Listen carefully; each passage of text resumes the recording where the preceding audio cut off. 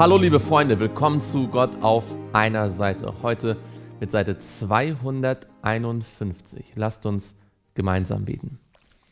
Lieber Vater im Himmel, danke, dass du so gut zu uns bist und dass du uns nichts vorenthalten möchtest, was gut für uns ist.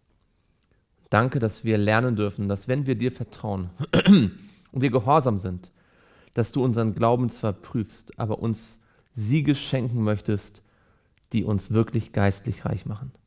Herr, wir möchten dich bitten, dass du auch heute durch dein Wort zu uns sprichst und dass wir lernen, was du uns für diesen heutigen Tag sagen möchtest.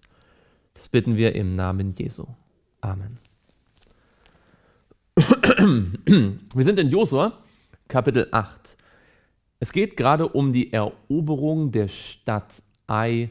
Josua und das Volk Israel haben diese Stadt jetzt mit Gottes Hilfe erobert. Wir lesen in Vers 24.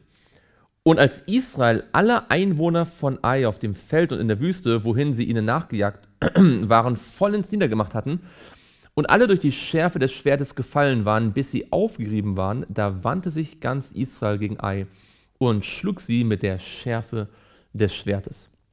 Und die Zahl all derer, die an jenem Tag fielen, Männer und Frauen, betrug 12.000, alle Einwohner von Ai.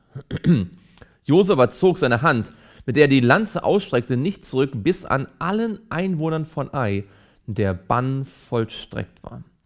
Doch das Vieh und die Beute dieser Stadt teilte Israel unter sich nach dem Wort des Herrn, das er Josua geboten hatte, wie wir letztes Mal gestern gesehen haben sollte in dieser zweiten Stadt, anders als in, in Jericho, tatsächlich auch Beute für die Eroberer ähm, übrig bleiben. Und Josua äscherte Ai ein und machte einen ewigen Schutthügel daraus, der noch besteht bis zum heutigen Tag. Und er ließ den König von Ai an einen Holzstamm hängen bis zum Abend. Als aber die Sonne untergegangen war, gebot Josua, dass man seinen Leichnam von dem Holzstamm herabnehme da warfen sie ihn unter das Tor der Stadt und errichteten über ihm einen großen Steinhaufen, der noch dort ist bis zum heutigen Tag. Damals baute Josua dem Herrn, dem Gott Israels, einen Altar auf dem Berg Ebal, so wie Mose, der Knecht des Herrn, es den Kindern Israels geboten hatte, wie es geschrieben steht im Gesetz, im Buch des Gesetzes Moses. Einen Altar aus unbehauenen Steinen, über die man kein Eisen geschwungen hatte, und sie brachten dem Herrn darauf Brandopfer dar und opferten Friedensopfer. Genau das hatte ja Mose geboten in den letzten Kapiteln in 5. Mose, kurz vor seinem Tod. Und er schrieb dort auf die Steine eine Abschrift des Gesetzes Moses, das er in Gegenwart der Kinder Israels geschrieben hatte.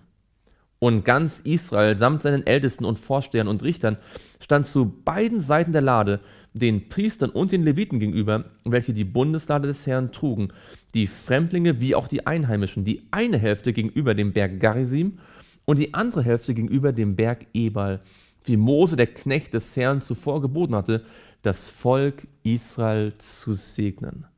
Danach las er alle Worte des Gesetzes, den Segen und den Fluch, alles, wie es im Buch des Gesetzes geschrieben steht. Es war kein Wort von allem, was Mose geboten hatte, das Josua nicht gelesen hätte, vor der ganzen Gemeinde Israels, auch vor den Frauen und Kindern und den Fremdlingen, die in ihrer Mitte lebten. Alle sollten mitbekommen, dass die Eroberung Kanaans auf der Grundlage des Wortes Gottes geschah, auf der Grundlage des Gesetzes Gottes. Und dass diese Eroberer nicht einfach wilde waren, die einfach nur sich Territorium erobern wollten, dass sie nicht einfach kamen, um äh, nur zu plündern oder aus reiner Rach- oder Gewaltsucht. Nein, sie kamen in Übereinstimmung mit dem Auftrag Gottes. Sie führten den Willen Gottes aus und sie bekannten sich zum Wort Gottes. Sie bekannten sich zu dem Gesetz und bekräftigten dies, indem sie das öffentlich hier ähm, kundtaten. Und sie bekannten sich auch zu dem Evangelium durch die Opfer, die sie brachten. Als dies nun alle Könige hörten, die diesseits des Jordan auf dem Bergland und in der Scheffela und in der ganzen Küste des großen Meeres wohnten, dem Libanon gegenüber, die Hethiter, Amoriter, Kananiter, Pheresiter, Heviter und Jebusiter, da versammelten sie sich einmütig, um gegen Josua und gegen Israel zu kämpfen. Jetzt entstand eine Allianz der Bewohner des Landes gegen Israel. Als aber die Einwohner von Gibeon hörten, was Josua mit Jericho und Ai getan hatte, da gebrauchten sie eine List und sie gingen hin und verstellten sich als Abgesandte. Sie nahmen alte Säcke auf ihre Esel und alte, zerrissene und geflickte Weinschläuche, auch alte und geflickte Schuhe an ihre Füße und zogen abgenutzte Kleider an und alles Brot ihres Speisevorrats war hart und schimmlig. Und sie gingen zu Josua ins Lager nach Gilgal und sprachen zu ihm und zu den Männern von Israel, wir sind aus einem fernen Land gekommen, so macht nun einen Bund mit uns. Da sprachen die Männer von Israel zu den Hevitern, vielleicht wohnt ihr in unserer Nähe, wie könnten wir da einen Bund mit euch machen? Sie aber sprachen zu Josua, wir sind deine Knechte. Und Josua sprach zu ihnen, wer seid ihr und woher kommt ihr? Lasst uns gemeinsam beten. Lieber Vater im Himmel, danke, dass wir dein Gesetz haben. Und danke, dass wir dein Wort haben und das Evangelium.